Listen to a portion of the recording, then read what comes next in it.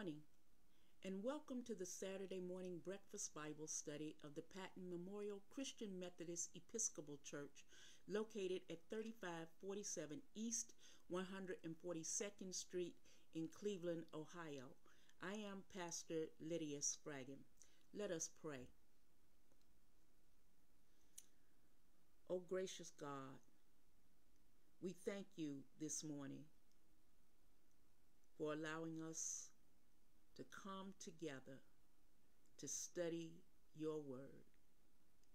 Send now your Holy Spirit that he might teach each of us what he would have us to know. In Jesus' name, amen. On last Saturday, I taught the story of the flood in Genesis chapter 6. And I did that using what we have known as a chiasm, or come to know as a chiasm.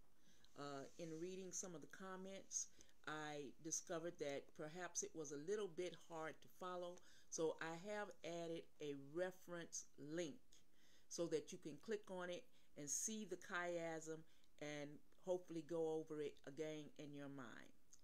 The point of the flood story that is included in the narrative is not that there was a flood, not even that God had judgment, but that God remembered Noah. Now, today, I want to move on and I want us to discuss one other uh, point regarding Genesis 1 through 11. Throughout the Bible, we, we discover covenants. In fact, covenant is a big word. It says uh, we serve a covenant God or we are in a covenant relationship. And most of the time, if you ask somebody what is a covenant, they don't have a clue. Uh, I know I didn't have a clue for the longest time. So I want to try to uh, put it in terms this morning that we all understand and that we can follow. And then uh, we're going to go through the Bible and look at some covenants. And if I don't have time this week, we're going to again come back and hit covenants again next week and look at the covenants that are primarily in chapters 1 through 11. Now, in its simplest terms, a covenant and the word I'm using, covenant, C O V E N A N T. C O V as in Victor, E N A N T. A covenant is a contract, an agreement between two or more parties.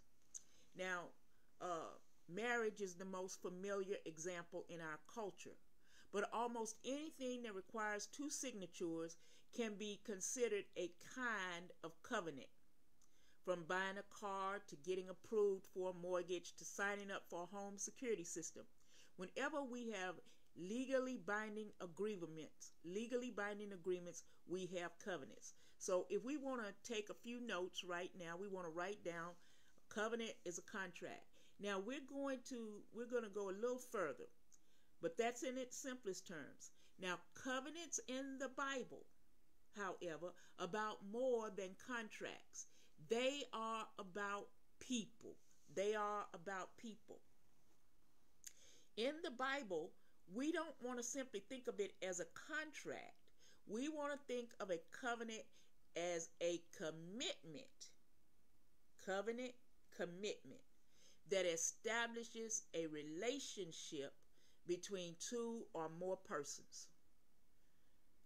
A covenant is a commitment that establishes a relationship between two or more persons. For our purposes, we are looking at those covenants that establish a relationship between God and his people. God and his people. A covenant bond that establishes stipulations, makes promises, guarantees blessings, and threatens curses. Now I'm going to come back to that. Because whenever we're looking at a covenant, we're going to be looking at certain characteristics. It's going to establish a stipulation, or it may make a promise. It's going to guarantee blessings and threaten curses. In fact, the basic elements of biblical covenant, covenants are historical prologue, commands, prohibitions, blessings, and curses. Prologue, P R O L O G U E, a historical prologue, a command, a prohibition, P R O H I B I T I O N S, prohibitions, blessings, and curses. So, when we're looking at a covenant bond, we're going to generally look for those basic elements. It's going to establish some stipulations, make some promises, guarantee some blessings, and threaten curses. Now, just as we must sign on the dotted line in our legally binding documents, any contract that we sign, we put, must put our signature. So too did ancient covenants require some kind of oath ratification. So we're going to look for some kind of oath ratification. Normally, this involved blood as a sign and seal of the obligations established, the blessings promised upon obedience, and the curses threatened upon disobedience. So let me say this again because I want to lay a good foundation for us and I want to make sure everybody is with me. Covenants in the Bible are about more than contracts, they are about people. A covenant is a commitment that establishes a relationship between two or more persons. For our purposes, we are looking at those covenants that establish a relationship between God and his people. Okay? A covenant bond that establishes stipulations, makes promises, guarantees blessings, and threatens curses. Uh, just as we must sign on the dotted line in our legally binding documents, so too did ancient covenants require some kind of oath ratification. Normally, this involved blood as a sign and seal of the obligations established, the blessings promised upon obedience, and the curses threatened upon disobedience. The basic elements of biblical covenants are number one, historical prologue, number two, commands, number three, prohibitions, blessings, and curses. Now, I'm going to uh, an article that I found that is by Thomas R. Schreiner, S C H R E I N E R, and in it, he tells us why we must understand the covenants to understand the Bible.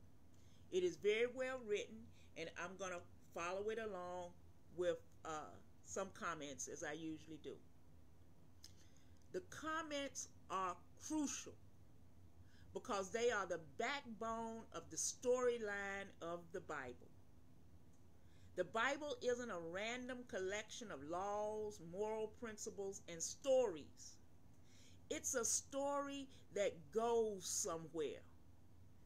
It's the story of redemption, the story of God's kingdom, and the story unfolds and advances through the covenant God makes with his people.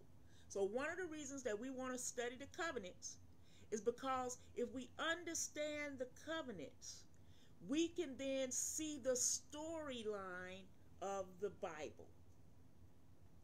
If we don't understand the covenants, we will not and cannot understand the Bible. Now, all of this is in where we get to when we start saying if we understand the first 11 chapters of Genesis, then we have the foundation to understand the rest of the Bible. Because one of the ways that we can study the Bible is by studying the covenants in the Bible and looking at how they relate one to another. We will understand how the story fits together. Um, we're going to do this by quickly surveying the covenants in the scriptures. Now, some of these covenants go by different names, but today, for our purposes, we're going to use uh, simple names, and then next week we're going to go back and try to lay it out a little better. The first covenant that we want to write down is the creation covenant. The creation covenant. God created the world and the human beings, showing that He's the sovereign ruler of all. He created Adam and Eve as priests and kings, as those made in His image, to rule the world for God. They were to extend God's rule over the entire earth. As God's son and daughter, they would be confirmed in life and righteousness if they obeyed the Lord. If they obeyed the Lord. But they would be cursed if they transgressed the command not to eat from the tree of knowledge of good and evil. In other words, we see there was a covenant blessing and a covenant cursing. They ate from the forbidden tree and experienced the covenant curse.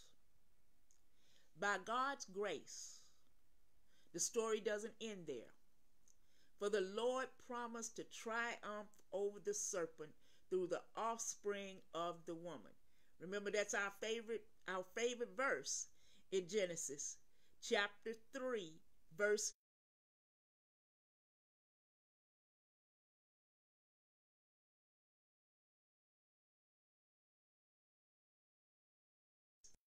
verse 15.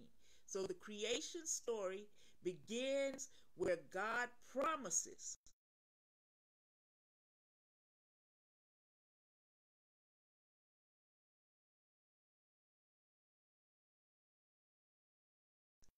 that he has created. Uh, the, the rule originally given to Adam and Eve would be restored through the offspring of the woman. So God is promising in Genesis chapter 3 that the rule originally given to Adam and Eve would be restored through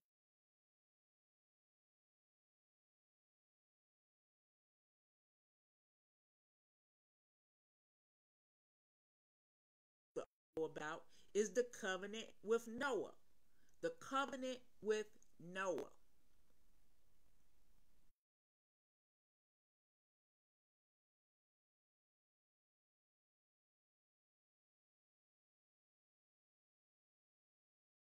Okay. So the creation basically is chapters 1, 2, and then 3. And then you get to 6 through 9 in Genesis, and you got the covenant with Noah. Now, as history unfolds, the horrific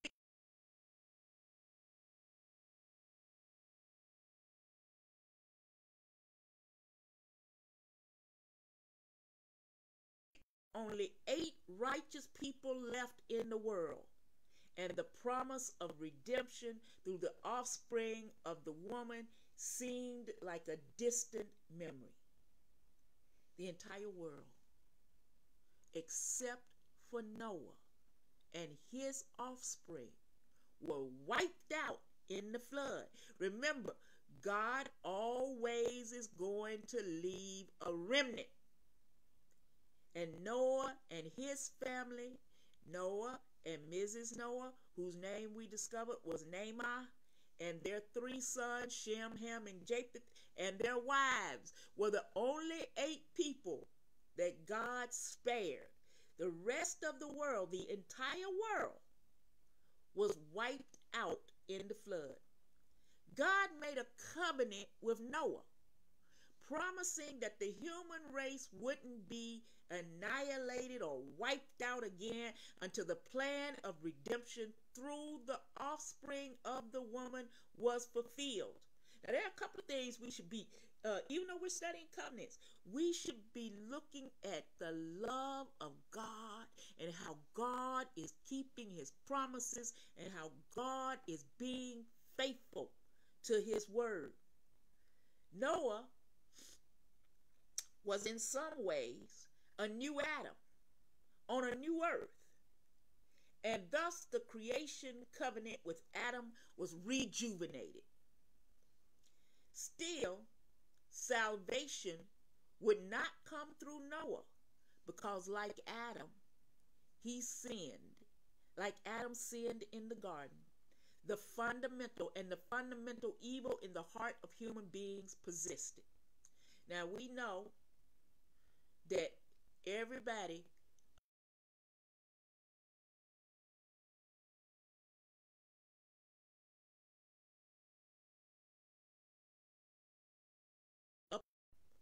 obviously failed. Noah, even though he was a righteous man, the first thing he did when he got off the ark was get drunk, overindulge. So he wasn't the one either. The next covenant, the third covenant, is the covenant with Abraham. Abraham. Now, we haven't really studied Abraham, but we do know that Genesis 1 through 11 lays the foundation, and Genesis is a funnel. So it starts out like this and it narrows down to just one family the family of Abraham and his descendants. And that's what chapter 12 through chapter 50 is all about. So, after Noah, the world again slid into sin with the Tower of Babel, or Babel, B A B E L, as the signature of sin. In this dire situation, God called one man, Abraham, and made a covenant with him. The Lord promised Abraham land, Canaan, C A N A A N. He promised him offspring, Isaac, I S A A C, and a blessing would extend to the ends of the earth. Okay, so we've got Abraham was like a new Adam, and Canaan was to be a new Eden where God dwelt with his people. As the children of Abraham trust in the Lord and obey him, the promises would be fulfilled. At the same time, the Lord promised a dramatic covenant ceremony that the promise would certainly be fulfilled. Now, if we want to read about the dramatic cer- uh, ceremony, we would read Genesis 15. Genesis 15. So at a later time, look for Genesis 15. God pledged that he would keep his promise, but he would do it through the obedient offspring of Abraham. Thank you, Sister Carletta, for keeping up with us and taking a few notes so that we can see what we're actually saying here. So, Genesis 15. So now we have the covenant, the creation covenant, number one, the covenant with Noah, number two, and then we have the covenant with Abraham. And the story is moving along. But the next covenant that we have is the covenant with Israel. Now, I'm just going to digress for just a second so that we're all on the same page. Who is Israel? Okay. Abraham had a son. Actually, he had two sons that are uh, basically in the Bible. But the one son was the child of the promise. His name was Isaac. And then Isaac had two sons, yes, Esau and Jacob. Jacob had an encounter with God where his name was changed to Israel. Israel. So we've got Abraham, Isaac, and Jacob. Now, these people are also known in the Bible as patriarchs. P A T R I A R C H, patriarchs. Okay, so we have the covenant with Israel. Now, Israel had 12 sons. 12 sons. And so there thus we get the 12 tribes of Israel. Okay? So, a covenant was also made with Israel after they were freed from Egypt by God's grace. So we see now that Israel is not only the name of a person, but Israel becomes the name of a nation of people who are in covenant relationship with God. Okay? And we know that all of them did not obey all the time. Okay? So we're going to go through that a little further. We have the 12 tribes of Israel. We have 10 tribes and 2 tribes. The tribe of Benjamin and Judah, they are more faithful than the tribes, the other 10 tribes. The other 10 tribes are just wicked. They're led by wicked kings and, and whatnot. So a covenant was also made with Israel after they were freed from Egypt by God's grace.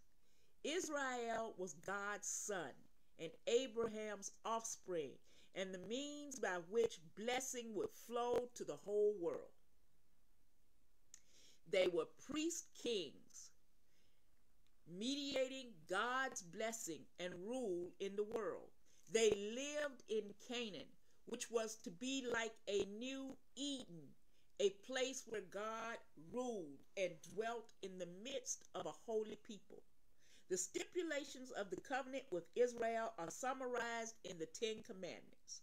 And the Lord promised blessing if they obeyed, but if they violated God's prescriptions, they would suffer the consequences. Indeed, they would even be ejected from the land and go into exile. So, what you will find is eventually the king the, the tribes of Israel are captured and they go into exile.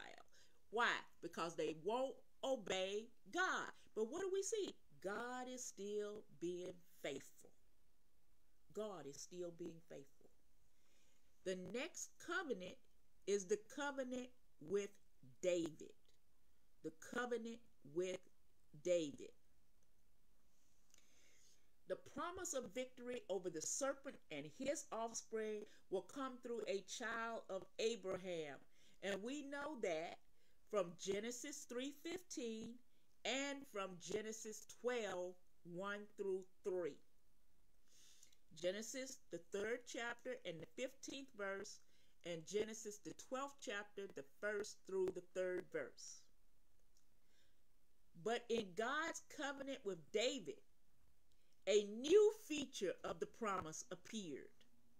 Though if one reads the story carefully, there were indications of this promise all along. And that's 2 Samuel 7. 2 Samuel 7. The new feature is that victory over the serpent would come through a king, the child of Abraham, who will conquer sin and death, will be a son of David. The promise of land and universal blessing will be secured through David's dynasty. Now, the king then was a new kind of Adam in a new land. And for a brief time, it almost looked as if all the promises would come to pass during Solomon's reign. Why? Because there was peace. Solomon was wise. They didn't fight. It was a whole reign of peace. The covenant with David, however, had conditional and unconditional elements as well. If the kings transgress, then they would face God's judgment. And we know, we know that David transgressed. David messed up. David sinned with Bathsheba. And this is probably a good time for me to go back for just a second because um, Abraham was a liar. Israel also was a liar.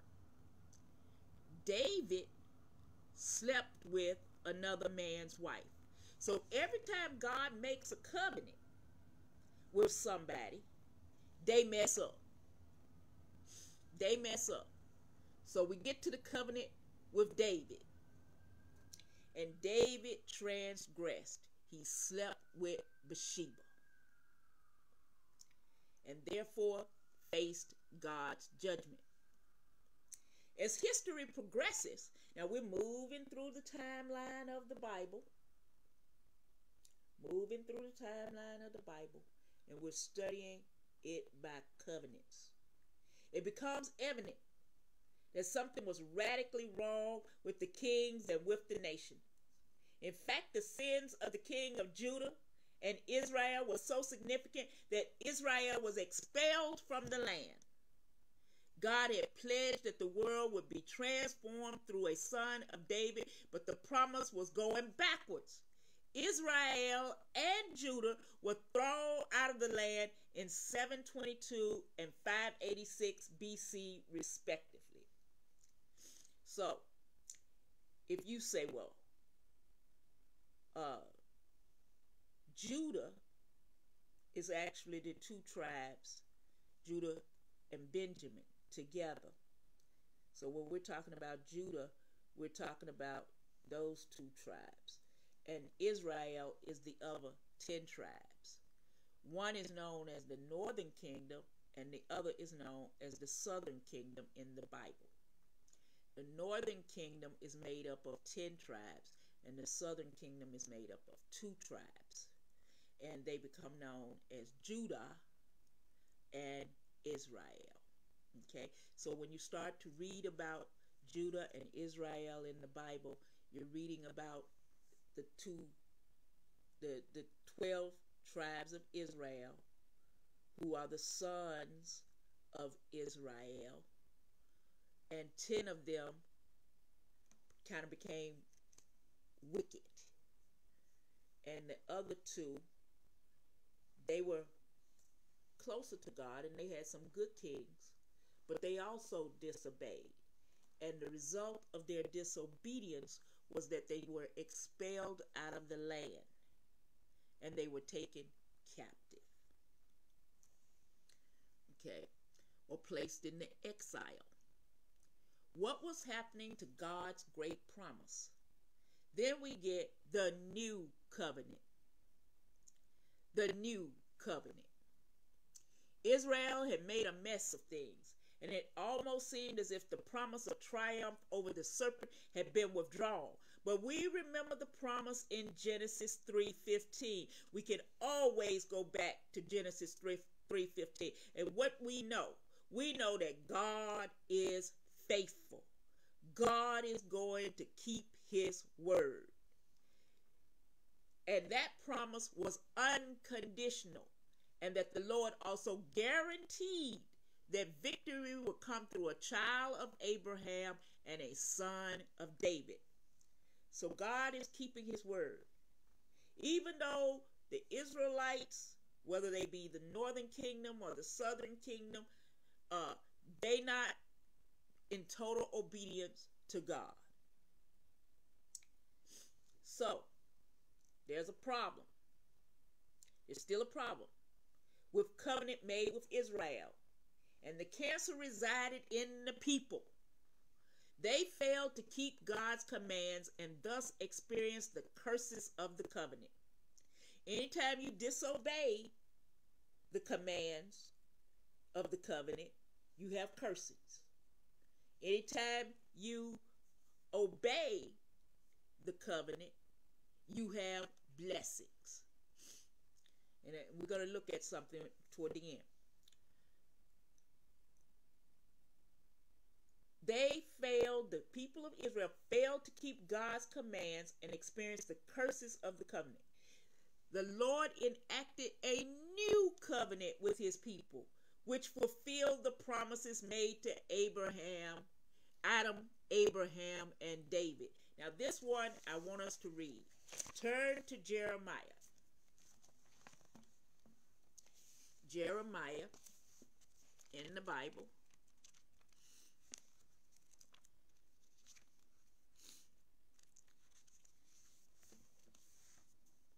And go to the 31st chapter.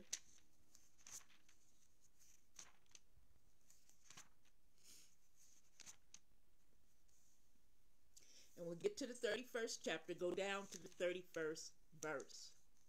Jeremiah 31 31.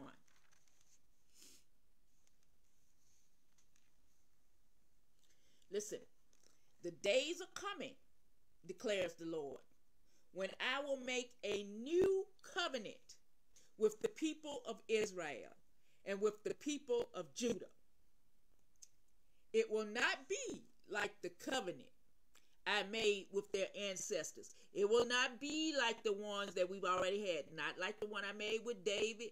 Not like the one I made with Israel. Not like the one I made with Abraham. Not like the one I made with Noah. Not like the creation covenant. It's going to be a new covenant. I made, it will not be like the covenant I made with their ancestors when I took them by the hand to lead them out of Egypt because they broke my covenant. Though I was a husband to them, declares the Lord.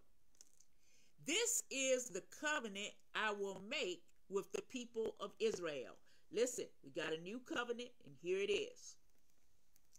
This is the covenant I will make with the people of Israel after that time, declares the Lord. I will put my law in their minds and write it on their hearts. I will be their God, and they will be my people. No longer will they teach their neighbor or say to one another, Know the Lord, because they will all know me, from the least of them to the greatest, declares the Lord. For I will forgive their wickedness and remember their sins no more.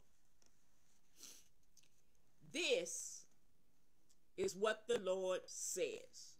Now, from verses 33, 31 through 34, we have written the new covenant. The new covenant finds its fulfillment in Jesus the Christ, who is the true son of Abraham, the true son of God, the true Israel, the true David, the son of man, and the servant of the Lord. The new covenant promise of forgiveness of sins is fulfilled in Jesus himself. And thus he pours out his spirit on the people so that they are enabled to do his will. And where does where do we find that? In Ezekiel the 36th chapter. So if you go forward from Jeremiah, Lamentations, you're going to then get to Ezekiel. Turn to Ezekiel, the 36th chapter. And when we get to the 36th chapter, we're going to start reading at the 26th verse. The 26th verse. And listen at what God says. I will give you a new heart and put a new spirit in you. I will remove from you your heart of stone and give you a heart of flesh. And I will put my spirit in you and move you to follow my decrees and be careful to keep my laws. Ezekiel 36, verses 26 through 27. So we see that God is keeping his promise and he's made the new covenant. This new covenant is fulfilled in Jesus Christ. He's perfect. Okay? He's perfect. All those who belong to Jesus are his offspring. They are the children of Abraham and members of the Israel of God.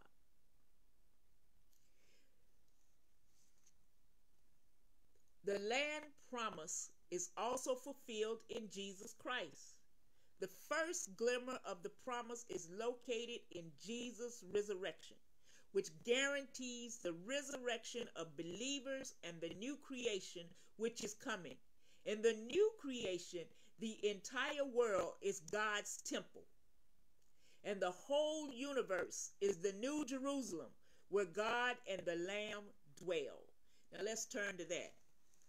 And this is in Revelation. Now, I know some of us are scared to read Revelation, but listen.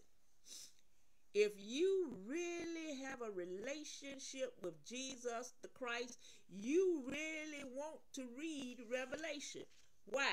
And I'm going to digress for just a second. Because what is Revelation? If you look at Revelation, the first chapter, and I'm going to come back to uh, what I'm what I'm talking about in a minute.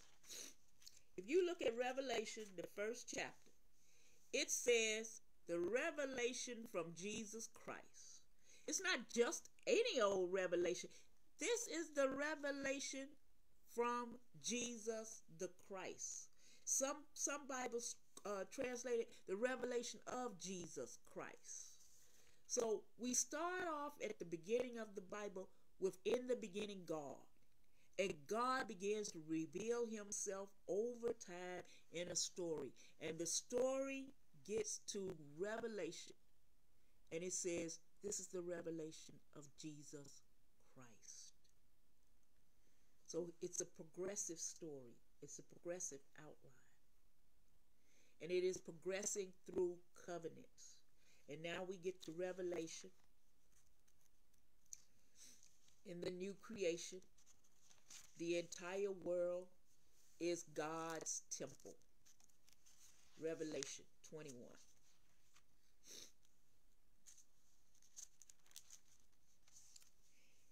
Then I saw a new heaven and a new earth. For the first heaven and the first earth has passed away, and there was no longer any sea. I saw, hallelujah, the holy city, the new Jerusalem, coming down out of the heaven from God,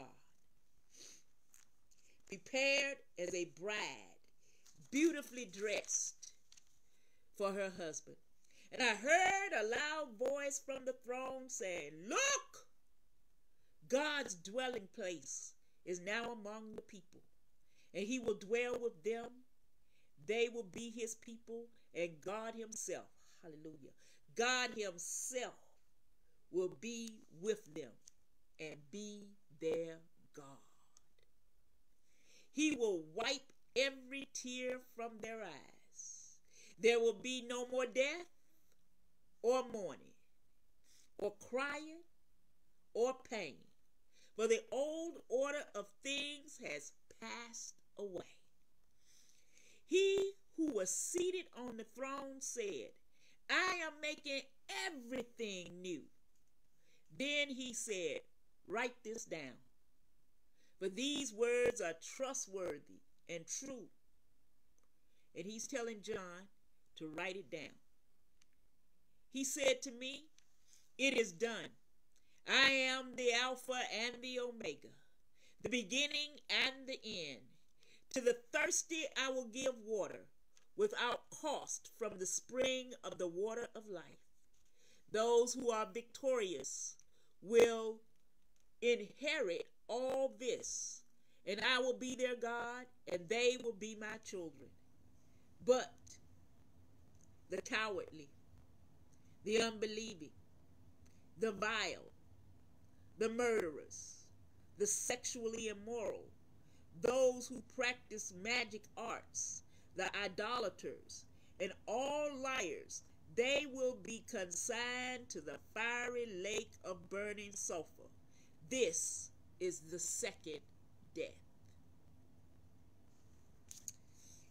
One of the seven angels who had the seven bowls full of the seven last plagues came and said unto me, Come, I will show you the bride, the wife of the Lamb. And he carried me away in the spirit to a mountain great and high, and showed me the holy city, Jerusalem, coming down out of heaven from God. It shone with the glory of God, and its brilliance was like that of a very precious jewel, like jasper, clear as crystal. It had a great high wall with 12 gates. That's where that song comes. 12 gates to the city. a high wall with 12 gates and with 12 angels at the gates. On the gates were written the names of the 12 tribes of Israel. There were three gates on the east, three gates on the north, three gates on the south, and three on the west. The wall of the city had 12 foundations and on them were the names of the twelve apostles of the Lamb. The angel who talked with me had a measuring rod of gold to measure the city, its gates and its walls. The city was laid out like a square, as long as it was wide. He measured the city with the rod and found it to be 12,000 stadia in length and as wide and high as it is long. The angel measured the wall using human measurement, and it was a 144 cubits thick. The wall was made of jasper, the city of pure gold, as pure as glass. Listen, this is how you know that you don't think like God. Gold to us is not like glass, but hallelujah, gold is like glass to God. The foundations of the city walls were decorated with every kind of precious stone. The first foundation was jasper, the second sapphire, the third agate, the fourth emerald, the fifth onyx, the sixth ruby, the seventh chrysolite, the eighth beryl, the ninth topaz, the tenth turquoise, the eleventh jacinth, and the twelfth amaranth. The twelve gates were twelve pearls each gate made of a single pearl. The great street of the city was of gold, as pure as transparent glass. Ooh-wee. I did not see a temple in the city because the Lord God Almighty and the Lamb are its temple. The city does not need the sun or the moon to shine on it but the glory of God gives it light, and the Lamb is its lamp. The nations will walk by its light, and the King of the earth will bring their splendor into it. On no day will the gates ever be shut, for there will be no night there. The glory and honor of the nations will be brought into it Nothing impure will ever enter it. There will be, nor will anyone who does what is shameful or deceitful, but only those whose names are written in the Lamb's book of life. Go on to chapter 22. Then the angel showed me the river of the water of life, as clear as crystal, flowing from the throne of God and of the Lamb down the middle of the great street of the city. On each side of the river stood the tree of life, bearing twelve crops of fruit, yielding its fruit every month. Hallelujah. Eternal life. Hallelujah. Yielding its fruit every month. And the leaves of the tree are for the healing of the nations. No longer will there be any curse. The throne of God and of the Lamb will be in the city, and his servants will serve him. They will see his face, and his name will be on their foreheads. They will there will no more there will be no more night. They will not need the light of lamp or the light of the sun, but the Lord God will give them light, and they will reign forever and ever. What a word! what a blessing! The universal blessing, blessing for all nations and people, also comes to pass in Jesus. In the old covenant, God's people consisted almost exclusively of Israel, but the fullness of God's promise to Abraham has become a reality in every tribe tongue, people, and nation are blessed in Jesus Christ as they trust him for eternal life. What a word. Now, what did we just do? We covered the Bible from Genesis to Revelation by covenants. God kept his promise. Even though we didn't keep our promise, God kept his promise. God kept his promise. God's promise was kept. That's all we need to know. God is faithful. That which he promises, he will do. That's why we sing the song, Hold On, Keep the Faith. Do not doubt. God keeps his promise. Now, we see what's in store for us if we are faithful and obedient to God. But if we aren't, just like we just read and we were all happy and we were shouting and whatnot,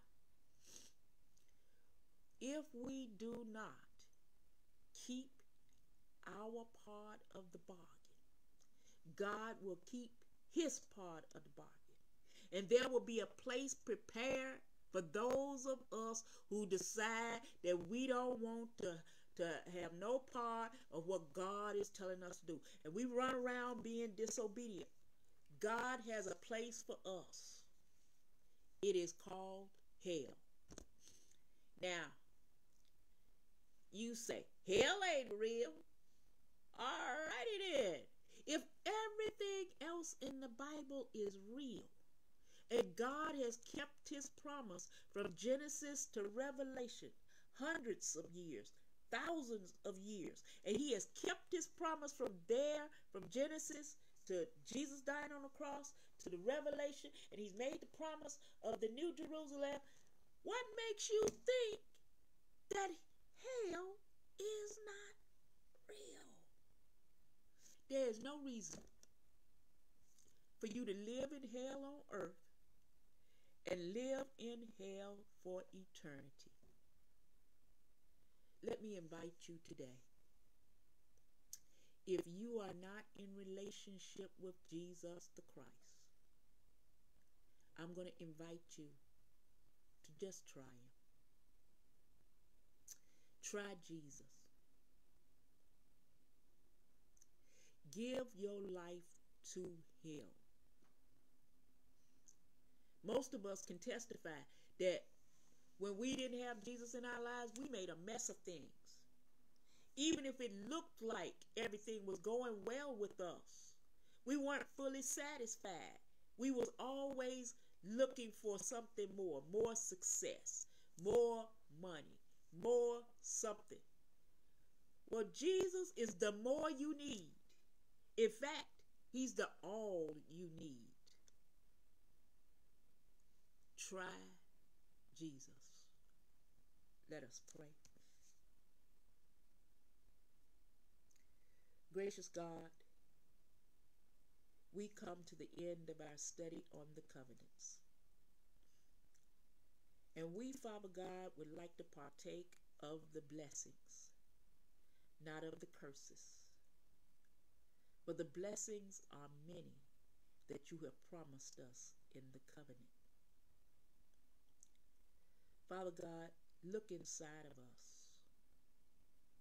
Those places, Father God, where we are running amuck and going astray, we ask, Lord, that you would grab us and put us back on the path that you have prepared for us.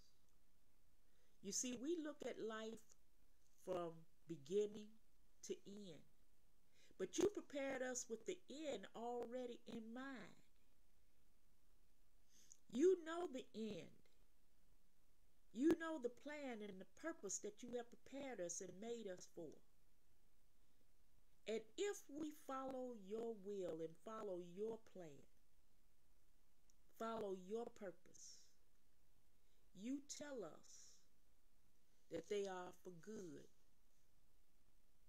and they will not harm us. They are made to prosper us. So, Father God, help us to put ourselves in your hands. And in your hands, no man can pluck us out. Help us to rest in your hands. Not worry about things in your hands. Because we know that you got it. Whatever it is, you got it. That's why you are the great I am. I am whatever you need me to be. Whatever you need me to be, however you need me to be it, whenever you need me to be it, I am. Thank you, Father. In Jesus' name, amen. Now, before I close, I did intend to make reference to one place. And I do want to do that before I close out this topic. And it is in the book of Deuteronomy.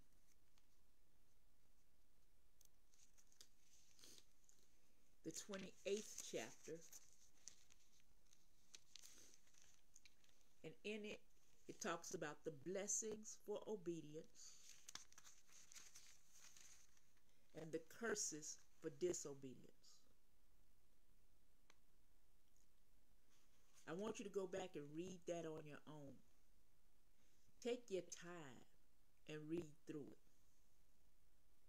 And see what the blessings are for obedience.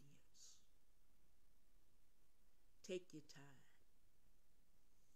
And then when you get to the 20, I mean the 15th verse, you're going to read the word however. However, if you do not obey the Lord your God and do not carefully follow all his commands and decrees, I am giving you today, all these curses will come on you and overtake you. Just like the blessings can come on you and overtake you, cursings can come on you and overtake you. for disobedience. Read it, meditate on it. None of us are perfect. We've all fallen short. God tells us to press toward the mark in the word. Press toward the mark. Sin is missing the mark. We want to press toward the mark. Lord, help me to be obedient where I'm not obedient. And then fill my life with blessings. Let them overflow. Open up the windows of heaven and pour out blessing that I have not even room enough to, to receive. Blessings. Let me stop because that's a that's a whole nother subject. In fact, I feel like preaching right now, and that's not what I'm supposed to be doing. I'm supposed to be teaching. But the blessings of God wonderful. And the curses of God are horrible. Horrible.